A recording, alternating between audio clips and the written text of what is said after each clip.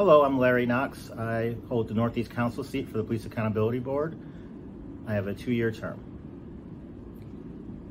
Larry, what led you to the PAB and why is it important to you? I've been a longtime supporter of the PAB. I remember when the conversations, or the latest conversations, first started in our community a few years ago about getting a police accountability board.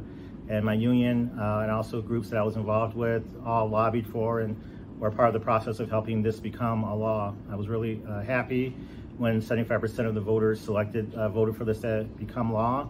And I, by joining the board, I feel like it helped make what the people wanted uh, a reality. Uh, our allies from the Alliance, uh, city council members, the community, all my neighbors, they all want a fully functioning PAB to help improve community police relations. And I see myself being a part of that process.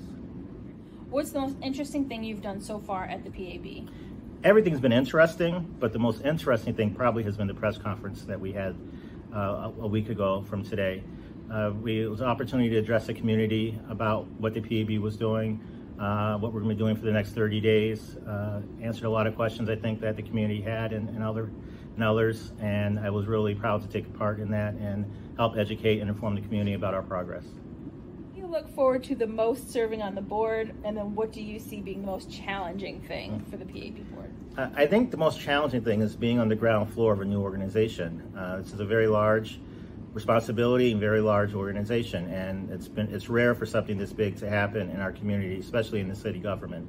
And I see that a challenge is getting that running smoothly and reaching the goals that the people who voted for this uh, to become a reality uh, want and expect. But I think that's a good challenge, just something that is not going to be always smooth But we want to make it as smooth as possible and get to the results that the community is looking for. And what do you look forward to the most? Uh, I look forward the most to engaging with the community. I think this is a unique board. It's a unique mission. Uh, hopefully there'll be more of these across the country. We could be a good model for making this uh, a reality.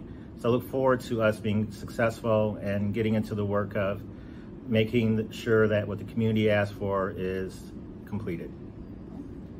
And what does changing policing look like for you? Uh, changing policing has many different definitions for many different, uh, that's like a school answer. uh, I think here in Rochester, uh, voters spoke loud on wanting to improve community police relations. So I see our role in the PA being, being able to make it easier and better for the community to feel trust with the police and for the police department to have better interactions with the community.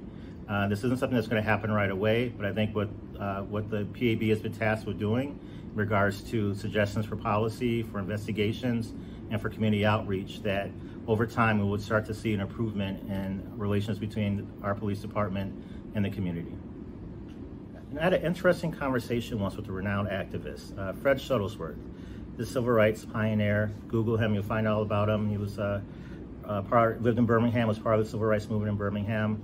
And I was at an event uh, for a political campaign in Ohio, and uh, Reverend Shuttlesworth was there. And we were having a conversation before the event, and he asked me how old I was and, and, and what I was, you know, how I got involved in politics. And I, you know, told him, and we just had this really good conversation. And he said, I appreciate you being young and involved in this, but don't forget, you know, if you stay, as you stay in the political field, he said to be an activist at heart. And there's different lanes, different ways of doing activism and, and community engagement and, and politics we always need to be an activist at heart, and that always stuck with me. Um, that he was encouraging uh, Reverend Shuttlesworth, and you know, no matter what lane I took in activism or politics, always being an activist at heart.